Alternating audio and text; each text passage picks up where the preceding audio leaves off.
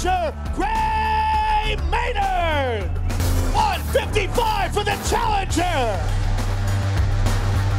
And the champion, the UFC 155-pound king, Frankie Edgar! 154 and a half for the champion,